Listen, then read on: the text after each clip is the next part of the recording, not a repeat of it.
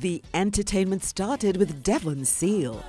Long time a tablet was just a pill, which you took when you fell ill, and you had to take it until conditions improved. And a hard drive was what you got when Brian Lara was hot, when he hit it like a gunshot.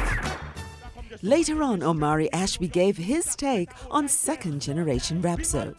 Well, Rapso um, has grown, and one of the things that happened with Rapso, interestingly, is that people sometimes say, well, I hear no Rapso, I hear no Rapso, but when you listen to the music, the influence is embedded in most of the modern things that you hear.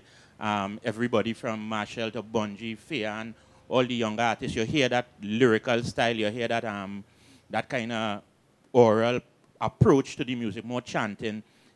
Over the last maybe 10 years, maybe eight out of the last road, um, 10 road marches would have had that element of rap, so in that, uh, that idea of the power of the word in the rhythm of the word. He gives the hopeful idea that Rapso will not die. Rapso man don't die, we multiply. Might shed a tear, but we don't cry. They hold me back, but yet still we fly. Try to keep we down, but we don't touch the sky. Rapso man don't die, we multiply. The morning was also filled with the sound of the vintage art with Black Sage. Well, I really do want to make a fuss. I'm glad I come here and I get a nice chorus. and I am so very happy. I have the three of them accompanying me. Four. But I have to say I'm very sure. He say it's not three, he say it's four. Yeah. But when I come here and do a thing, by the time I come back here, they will learn to sing.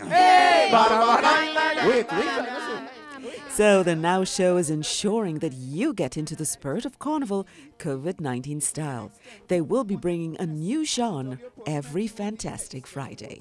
Marie-Therese Bernard, TTT News.